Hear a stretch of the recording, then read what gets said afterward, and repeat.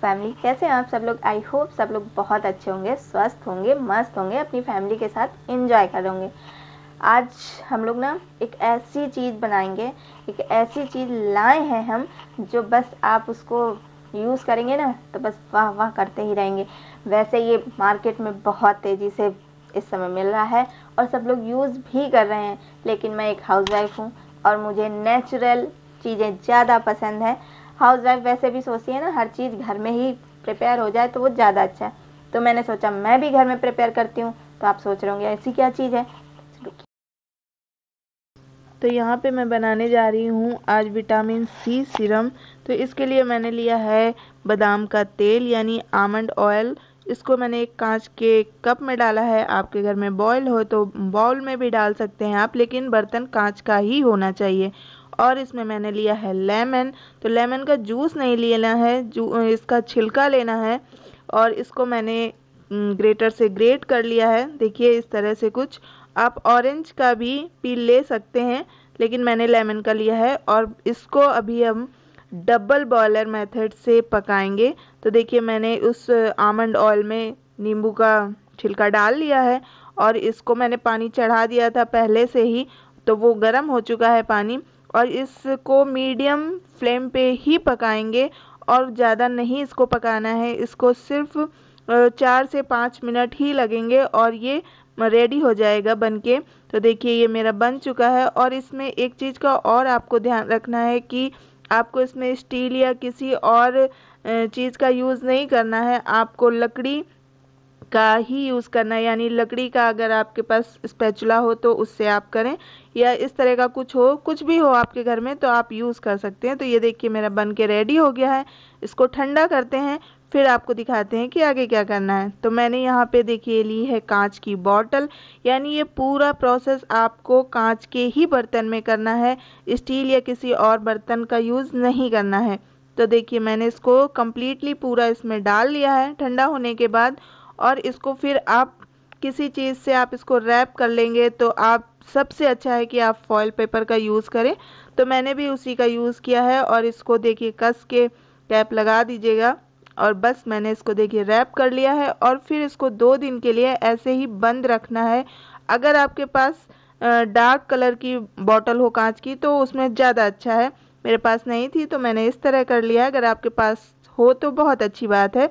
तो बस इसको ऐसे रैप करके दो दिन छोड़ देंगे। और ये देखिए, मेरे दो दिन हो चुके हैं और मैंने इसको ऐसे ही रख दिया हुआ था। और ये देखिए, हमारा विटामिन सी सीरम रेडी हो गया है। अब आगे बताते हैं आपको क्या करना है। तो आप ऐसी कोई बॉटल हो, उसमें आप डाल के रख सकते हैं, जो ड्रॉप वाली होती है। अदरवाइज़ आप ऐसे भी रख सकते हैं इसको। तो मेरे पास थी तो मैंने यूज़ कर लिया है। तो जो इसका छिलका था नींबू का उसको मैंने नहीं लिया है, सिर्फ़ ऑयल लिया है और ये देखिए, सारा इसमें जो विटामिन होते हैं, वो सब कुछ इस ऑयल में आ चुका है। अगर आपके पास हो तो आप इसमें फेशियल कैप्सूल जो आते हैं, वो दो डाल सकते हैं। अगर नहीं है तो कोई बात नहीं, आप ऐसे भी इसका यूज़ कर सकते हैं और इसका नाइट में ही यूज़ करें। और ये देखिए, हमारा बन के रेडी हो गया है विटामिन सी सिरम आपको हम दिखाते हैं अपने हैंड पे यूज़ करके। इसके रिज़ल्ट बहुत गजब के हैं। इसको आप रोज़ रात में ज़रूर यूज़ करें और स्किन बिल्कुल ब्राइटनिंग स्पॉटलेस हो जाएगी धीरे धीरे तो बस ऐसे ही आप भी ट्राई करिए।